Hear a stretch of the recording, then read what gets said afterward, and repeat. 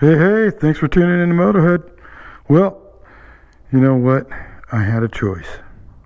Either pay 50 something dollars to get one from Europe, a fan shroud, or wait and just get my $17 one that I already paid for. So, no date. They don't know when it's going to come in. Used to be um, like mid June or first part of June. But now they don't even know. So, what am I going to do? I'm going to put the fan in. So, what we have here is, you know, me sharing you my little jerry rig. And, you know, I don't know if I recommend this. But to get it going, I'm doing it. And basically, I removed. And I want to show you guys. You know what? I may put it back. I'll run it and I'll see, but right now it seems to be really solid the way I did it. And it's temporary. I mean, maybe, you know, who knows, two, three weeks, four weeks. I don't know when they're going to get the part in. But here's the old one. So this plugged in, it has a wire and a plug back there. It plugs in. And then there's two pins that come in right here. Okay. See if I can get a little bit better light on this thing for you guys. But there's a couple pins, part of the radiator frame that these tabs slot into. And then this walks forward and that screw right there, that's what screws into this hole. Okay, so you got a plug, plugs in, this thing goes. Okay, so what I did, I screwed one. I found a screw in my screw box, pulled one out, right thread, threaded that in there, secured the fan to this. There's a rod that comes down that keeps the fan from hitting the blades. That's the whole idea. I got this in without hitting the blades at all. Um, I zip tied, I used zip tie through the other eyelet down here and uh, ran it through one of the frame holes, you know, underneath here. See if we can get a take a look. But there's one. So, and there's the other frame hole. I don't know if you can see it, guys. I'm going to try to do you good.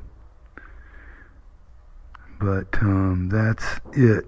So I ran the zip tie through the frame hole for the pin hole and then the eyelet, three eyelets on the fan itself. So, you know, one screw there, solid hit, perfect. And then this floats.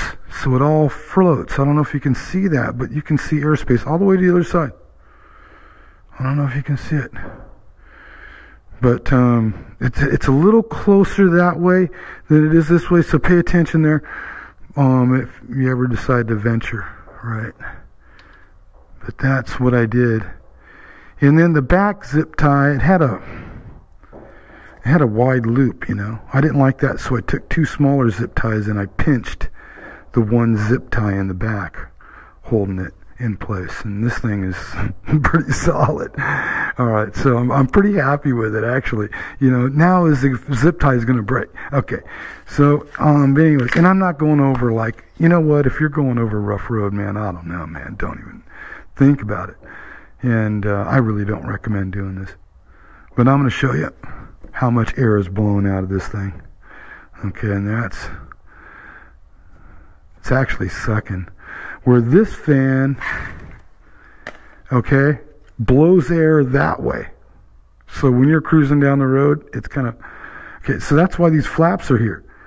So when you're cruising down the road, it'll evacuate the air, right? Otherwise, it's gonna do a pretty good job while you're sitting at a light. Okay, good fan though. It's done done me good, especially with the smart motor fan switch. But with this and the lower thermostat thermo switch, I don't think I'll ever need to use the smart motor fan switch and I'll be able to use it though for this demonstration here. But um, other than that, if this thing's working properly, you won't need the smart motor fan switch.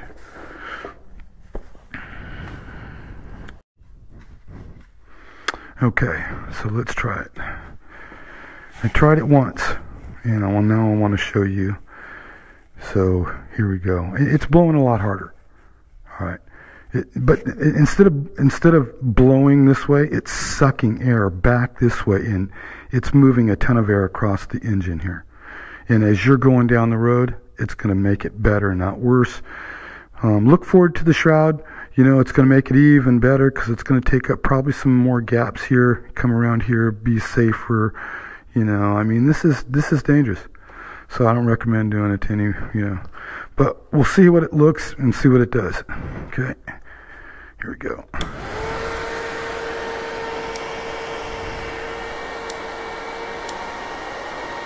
So it's way back here. Air's just, and then here, it's just sucking pretty good. So, so anyways, um, look forward to using it. What I want to see is if it's cooling the water faster and the fan is running less.